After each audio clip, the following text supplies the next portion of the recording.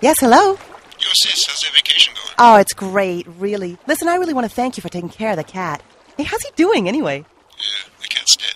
Sorry? I didn't get that. The cat's dead. What do you mean the cat's dead?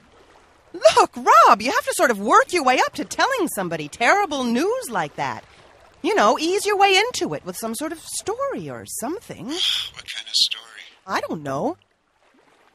You could start by telling me, you know, how the cat likes to chase things, and I'd say, yeah. And you could say, well, he was chasing a squirrel, and somehow he got up on the roof.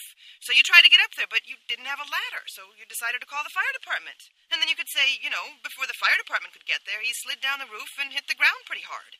And then you can say, he was hurt, but you bundled him up and drove him to the vet as fast as you could. And even though you got there quickly and the vet did everything he could, sadly, the cat passed away. Something like that. Okay. So, by the way, how's Mom doing? Uh, and Mom's on the roof.